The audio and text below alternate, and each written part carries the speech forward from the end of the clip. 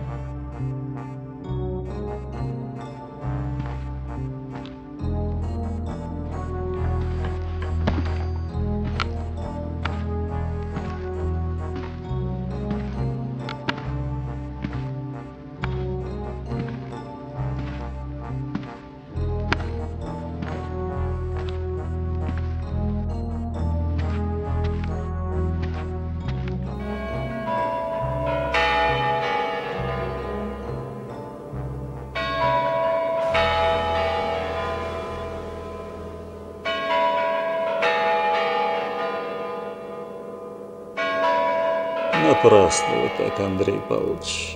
Я спасаю цивилизацию. Если бы я не занимал это кресло, то в нем сейчас сидел бы какой-нибудь неолудит, и вот тогда цивилизация действительно была бы погублена. Очень скоро не осталось бы ни домов, ни машин, ни самого этого кресла. А при мне дома стоят, и в них даже время от времени подается электричество. Даже некоторые автомобили еще на ходу, несмотря на то, что машины уже давно не производят. Хотя под давлением неолудитской оппозиции пришлось запретить всю техническую литературу, мне удалось спрятать в специальном хранилище по одному экземпляру каждой книги. Когда настанут лучшие времена, по этим книгам можно будет восстановить цивилизацию. Лучшие времена уже не настанут. Неужели вы не понимаете, что человечество попало в ловушку?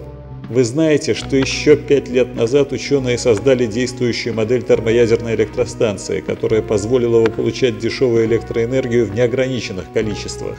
Но это изобретение пришлось тут же засекретить, потому что ученые подсчитали, достаточно небольшого возрастания потребления энергии на Земле, и полярные льды растают, затопив половину суши. Это изобретение можно было бы использовать только для промышленного производства в космосе. Цивилизация не может больше развиваться, оставаясь ограниченной рамками одной маленькой планеты. Ей стало тесно на Земле, она выросла из нее, как дети вырастают из старой одежды. Она либо вырвется в космос, либо задохнется здесь, на Земле, отравившись собственными отбросами. Но все, что я вижу вокруг, убеждает, выбор уже сделан, цивилизация гибнет. И этот выбор сделали вы, зеленые. Эх, Андрей Павлович, возможно, вы и правы насчет освоения космоса, но вы философ, теоретик, а я политик-практик. А политик может выбирать только из тех вариантов поведения, которые предлагает ему толпа, иначе толпа его отвергнет, и его политическая карьера завершится – Вспомните, как толпа относится к космосу. Для нее это бессмысленная трата денег. Более того, в представлении толпы освоение космоса – это чисто совковая затея, проделывание дырок в небе, что-то вроде поворачивания рек, повредительство природы, одним словом.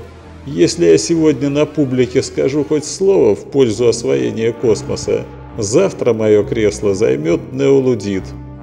Так на что же вы надеетесь? На какие лучшие времена?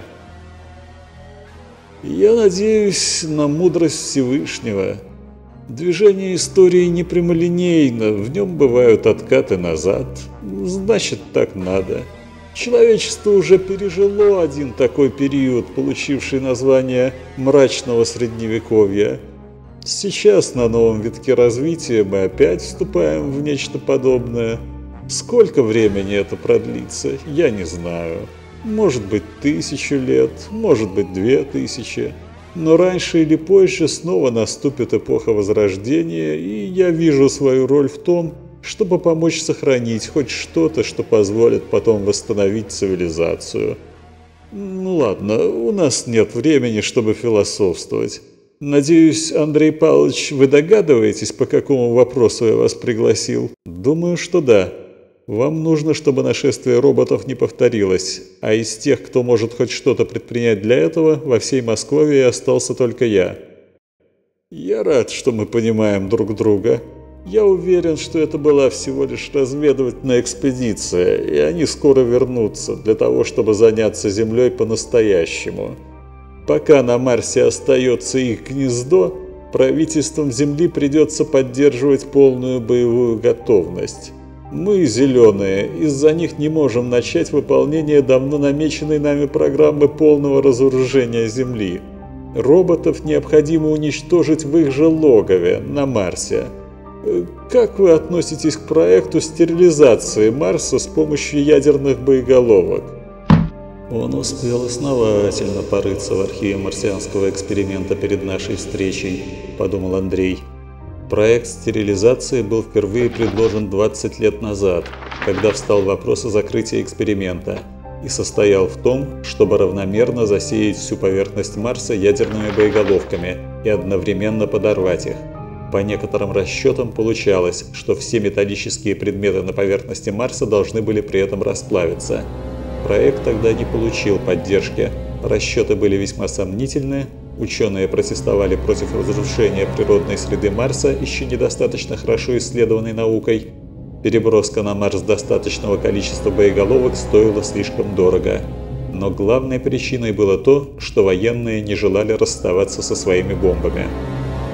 Андрей уже открыл рот для того, чтобы сказать, что проект этот и раньше был сомнительным, а в нынешних условиях он и вовсе стал бессмысленен, Роботы уже вышли в космос, и теперь многие из них, возможно, живут в космосе постоянно. Уничтожение роботов, живущих на поверхности Марса, лишь освободит место для размножения их космических конкурентов. Но он вовремя сдержался. Он вдруг понял, что настал критический момент всей его жизни. То, что он сейчас ответит, определит его судьбу. В одно мгновение он прокрутил в голове сложившуюся ситуацию. Перед ним был правитель то есть человек, ничего не смыслящий в большинстве вопросов, но принимающий по этим вопросам решения. Других экспертов, кроме него, Андрея Ладогина, больше не осталось. Правитель не на шутку напуган роботами и жаждет быстрого решения проблемы. Пожалуй, при таком раскладе можно попытаться сыграть свою игру. «Для осуществления этого проекта нужны мощные ракеты», — наконец произнес Андрей. «Да, но вы ведь, кажется, разработали проект ядерной ракеты для полета на Марс. Во всяком случае, его у вас отобрали при обыске».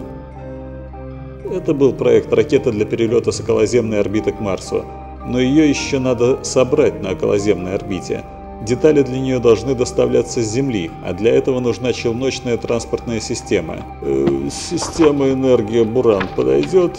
На территории бывшего СССР хранятся в законсервированном виде по крайней мере два полных комплекта. Андрей задумался. Видите ли, дело в том, что Буран не летал уже 30 лет. Даже если он хранился в очень хороших условиях, в чем я сомневаюсь, Гарантийные сроки на все оборудование истекли еще четверть века назад. Да и вообще это была экспериментальная система, которую так и не успели довести до кондиции. Если взять его за основу, над ним придется еще основательно поработать. Нужны толковые, знающие люди. Очень много людей. Если вы имеете в виду кого-нибудь конкретно, пишите список, мы их разыщем. Через полчаса список был готов. Старший брат показал его подошедшему сотруднику Мэда. «Ну, этих всех мы доставим», — сказал Медовец, скользя пальцем по списку. «А они у нас все сидят по разным лагерям экологического перевоспитания. А вот этого больше нет», — ткнул он пальцем в одну из фамилий. «Как это нет?» – удивился Андрей. «Сегодня утром, когда мы подъезжали к Кремлю, я случайно увидел его. Он шел по тротуару напротив». «Его больше нет», — повторил Медведь. Год назад мы ему стерли память амнезином.